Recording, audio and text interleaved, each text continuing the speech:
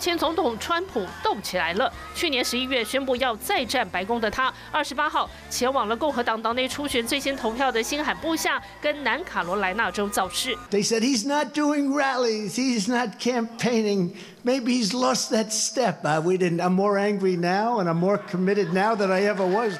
不改直言作风的川普坦言自己很想赢，他还说，二零二四总统大选对美国来说非常重要。The 2024 election is our one shot to save our country, and we need a leader who is ready to do that on day one. 毫无意外的，川普对现任总统拜登也大加抨击，还指自己若是当选，会立即终结乌克兰跟俄罗斯之间的战争。 Through weakness and incompetence, Joe Biden has brought us to the brink of World War III. We're at the brink of World War III. I would have a peace deal negotiated within 24 hours.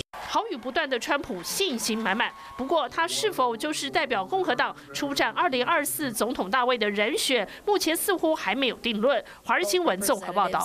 嗨，我是庄宇杰，想要看到更多的新闻内容吗？赶快订阅华视新闻的 YouTube 频道，并且开启小铃铛，跟着宇杰一起看新闻吧。